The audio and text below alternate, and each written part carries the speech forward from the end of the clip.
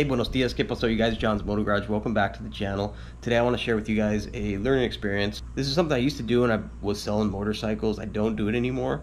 It was just, frankly, very stupid of me. I think you guys are all better than this, but let this be a learning experience. All right, so as many of you know, I used to buy and sell a lot of motorcycles back in the day. And when I was younger, I had this notion in my mind that people wouldn't want to buy a bike from me if they knew I was just turning around and selling it. So instead of telling people I buy and sell, I would come with them with some stupid backstory. I would tell people, for example, maybe I got it in a trade, or maybe I bought it and I want to try out a sport bike instead. I'd come up with some stupid story. At the end of the day, I would just I was lying to them basically, not being honest with them.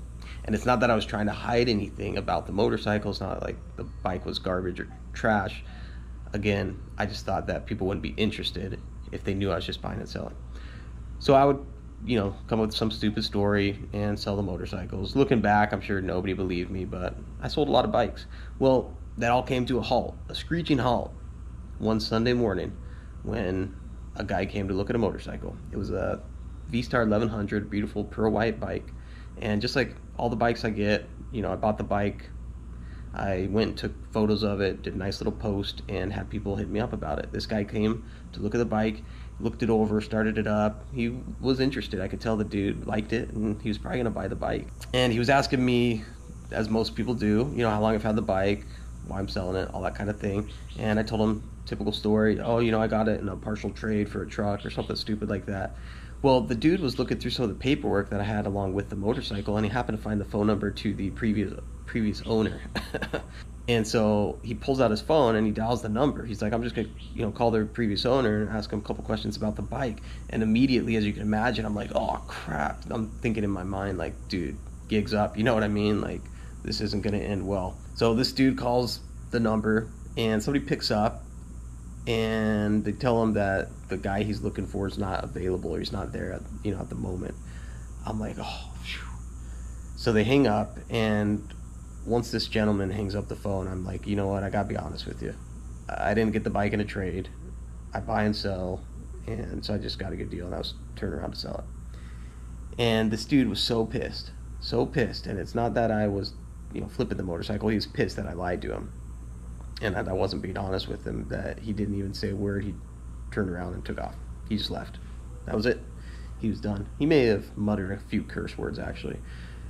And I obviously I obviously felt like a complete idiot, super embarrassed, super shamed, and it was at that point that I realized, you know what? I, I can't conduct business like this. You know, it's just even though like I said I wasn't hiding or covering anything up regarding the actual bike, at the end of the day, I just wasn't being honest. Yeah, it was stupid. So from that point moving forward, I just started being transparent. When anybody would ask, you know, how long have I've had the bike or why am I selling I just say I buy and sell on the side as a hobby. I've had it X number of days, or you know, I bought it a week ago, and whatever information I have, I let them know. Otherwise, you know, I just tell them I don't know. And once I started doing it like that, just so much easier. You know, I could sleep easier at night. My conscience was clean, all that kind of stuff. So huge learning experience. I did feel like a complete idiot when all that went down. Shameful act, definitely something stupid that I did, but we learned from it. Drop a comment below. Have you guys ever had any experiences like that? Let me know below. What would you do if that happened to you? Would you still buy the bike or would you walk away?